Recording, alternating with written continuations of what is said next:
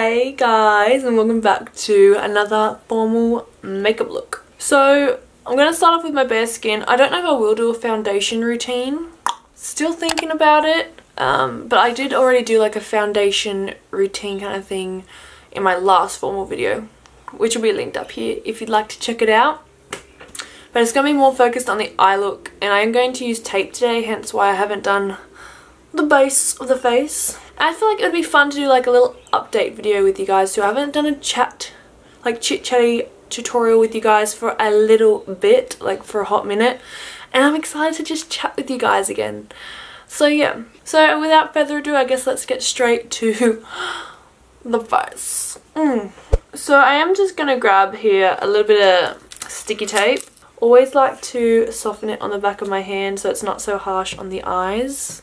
Sorry, I'm out of shot. I did think about doing my brows first and then I just didn't so I mean you can totally do your brows first with this look. Probably smart to do your brows first but I didn't. I'm going to actually take the MAC Soft Ochre Paint Pot um, to prime my eyelids. And I'm actually just taking a little EIGSHOW uh, crease brush large crease brush to buff in the paint pot. So yeah I have just started up a little uh, makeup artistry website thing. I like ummed and art about it for a little while uh, just because I wasn't sure you know I have a lot of anxiety around like starting new things and I do love doing makeup as you guys can tell like I love doing the videos for you guys I love creating different looks and my partner actually like pushed me to you know, jump out of my comfort zone and actually do it. So I'm very grateful to him. So I did start up my own little website. If you guys, like I said, would like to check it out, all of the links and stuff will be down below for all the products I use today as well as like my website and things. But yeah, I have a few bookings which is super super exciting.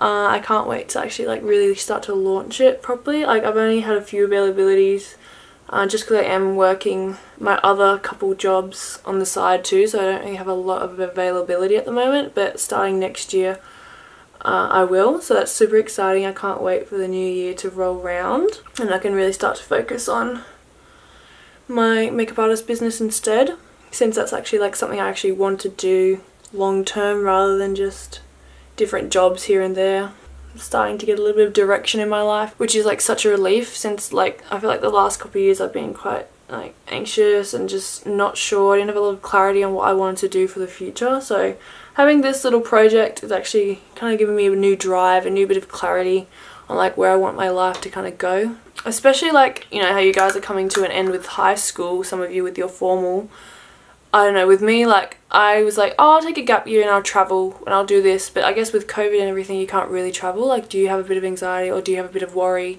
or just uncertainty around, like, what you're going to do next year? Like, let me know. I've literally spent the last, like, five years or so, like, just kind of going with the flow. Not really having a lot of direction after high school because I didn't want to go to university.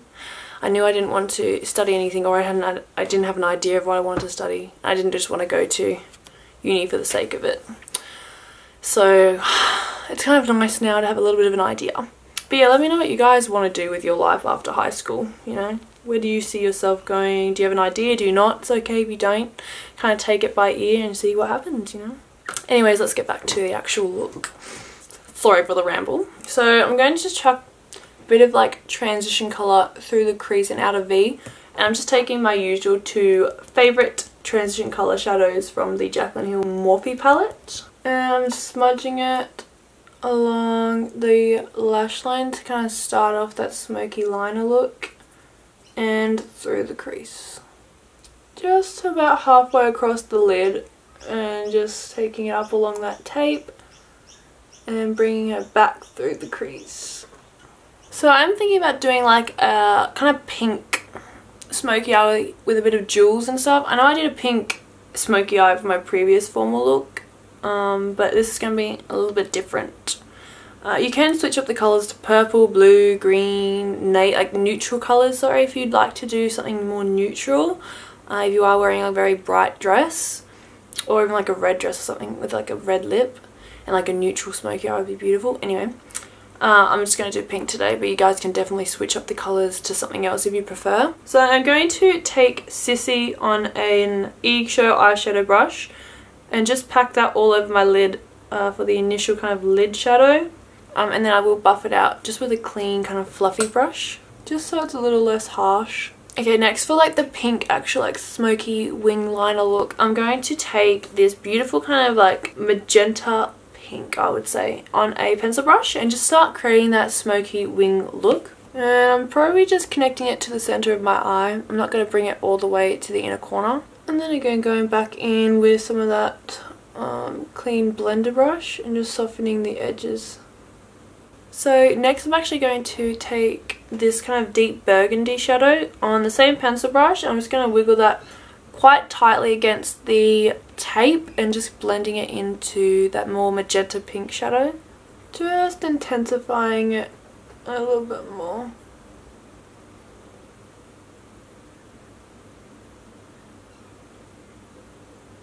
Uh, I think something like that will do, you know? Just a bit simple. I didn't want to make this look like uber complicated for you guys. I feel like most of my looks are pretty complicated so I was like, I'll make it a little bit more simple today. So I'm just going to highlight my inner corner and brow bone, uh, which is like the and light shadow from the Jaclyn Hill palette. I'm obsessed with that shadow as like an inner corner and brow bone highlight. It just goes with so many looks. It's so versatile. And I'm just hitting the highest point of the brow and I'll just blend it out softly with that kind of crease brush that we used before.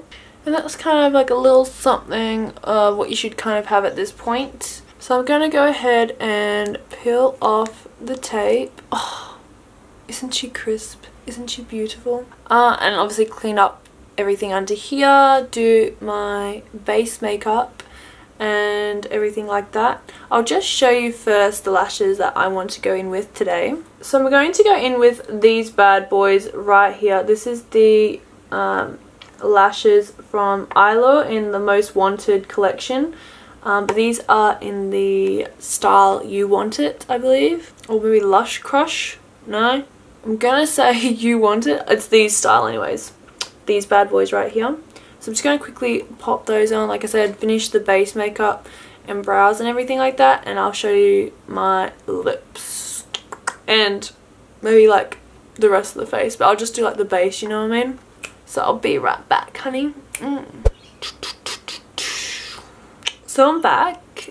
Uh, these are the lashes on and like you can see I've already done my base. I went in with my Raww camo foundation and I also went in with the Maybelline Instant Age Rewind Concealer and then I set my face with the Zuii Nutmeg Foundation which I've been actually loving as like a bronzer uh, slash like face setter face powder kind of thing just because it's a little bit darker than my natural skin tone at the moment because I am not tanned whatsoever I love it to like just give me a bit of colour to the skin but still looks super natural and not too intense.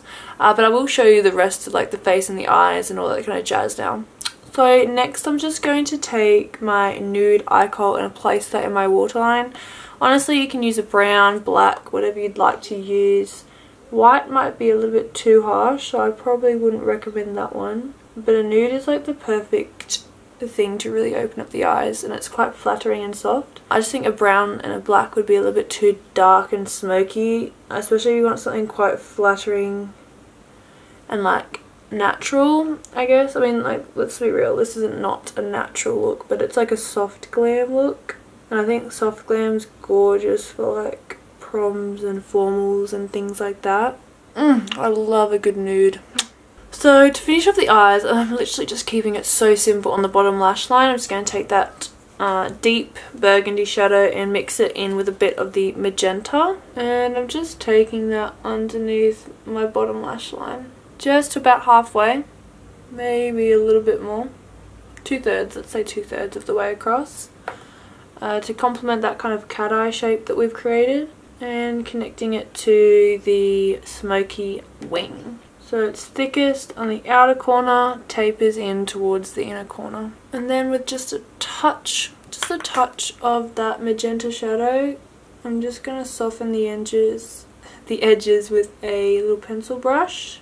But again, I'm not taking it too far under the bottom lash line. I'm not a big fan of a super smoky bottom lash line. Like, that's just not my kind of cup of tea. But each to their own. If you like a really intense bottom smoky lash line, then you do you, boo. Mm. Yep, that's the stuff. Then just taking a touch of faint, I'm going to apply that on the bottom inner corner kind of lash line. That'll do, donkey. That'll do. Okay, so next I'm going to bejewel my eyes. I just feel like that would be so fun for like a prom or formal look. It's going to be like a wearable bejeweling though. Like I'm not going to do something like where like it's just like raining down diamantes and like glitter and stuff like that. I'm actually just going to take this kind of craft choice bling and I'm going to just kind of dot them along my eyes. You'll see. And I'm just going to take the NYX glitter glue and then I'll use like little tweezers to apply them around my eyes just here and there.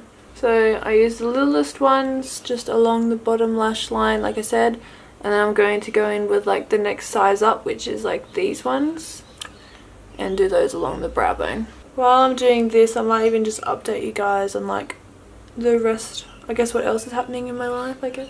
Honestly I'm such a numbnut. I literally tore my ligaments again recently so I'm in this sexy moon boot. So I was playing soccer the other day. I did this like um, social kind of soccer thing and we were just playing and I tore the ligaments in my ankle. Same ankle that I did a couple years ago as well. And as soon as I did it, I knew that I'd torn them. I was like, you've got to be kidding me. So I get to spend the next couple weeks in this gorgeous moon boot which is alright like it's actually pretty comfortable considering like my ligaments are torn. But I just was a bit frustrated because I have to take time off work because I can't work in a boot legally in the job that I do. So I've just been chilling at home. I mean it's given me a good excuse to like get back into YouTubing and stuff again because I have been so busy uh, just with working, life, all that kind of jazz but I was a little frustrated because now I can't play soccer. Oh, now I lost a bead too. But I've come to accept the situation now and to be fair, I just laugh at myself. Like, of course I did the same ankle again. Like, all the things to do. I did the same injury that I did a few years ago. Although, thank goodness, this time it's not as bad. So I'm actually seeing the little, like, silver lining to this is it's only a couple weeks and, like, maybe six weeks rehab Whereas last time I did it, I like completely tore two of the ligaments and then half of another one. And that took like six months to kind of get back to normal. Oh, it just took so long and I'm not sure why. But I'm just glad that it's not going to be as long of a process or hopefully not as long of a process as it was last time. And I can still do the gym which makes me so happy. So I can just do like upper body stuff, you know? But yeah, I guess that's like what's going on in my life at the moment. Like otherwise I've just been working a lot. I'm sorry I have been quite slack with uploading. I don't want to be, just right now has been super super packed. Um, but I do want to get back into posting at least once a week if not more. That's me in a nutshell lately. So I hope you enjoyed that little update. what do you think? Is a bit much? I mean, you can definitely just leave the three tiny ones on the bottom lash line. But I know. I'm enjoying it. I'm enjoying the brow look. this is the Raww Mascara. It's the volumizing one. And like I said, I just did a light coat of that. Because I don't want to like hide. I don't want my lashes to be too like bold and hide the little diamantes. Okay, let's finish off the rest of the face. I do want quite a glowy, dewy look. And to kind of give a bit more colour to the cheeks, I feel like this is a very like pinky, feminine look. I mean, that's what I said with my last look, but I can do two, can't I? So I'm going to take Dusk, which is this actual, it's actually like a lip paint from Fat and the Moon, which is like a natural makeup brand as well. But I'm going to use it as a cheek tint today. And I will go with a powder, but I'm just going to use this first because it's such a beautiful colour. I'm just going to tap tap it onto the contours of the cheeks. Can do the apples, but I'm definitely more of a contour kind of girl. I think it slims up the face a bit more. It just suits my face shape a bit more, like a bit better. Now you can probably go a little bit more ham on the blush than usual just because blush does tend to fade throughout the night. And then I'm going to take the two highlights from the same brand, Fat and the Moon. They're stunning. I'm obsessed. And they look really good over powder. Like we've already used the powder bronzer. But these products sit really well over like powder or normal skin, like on anything, which I really like. Because I find some cream products can go blah over powder. It just, it's not cute. So I'm going to take a little bit of Lit, which is this beautiful kind of rosy tone highlight.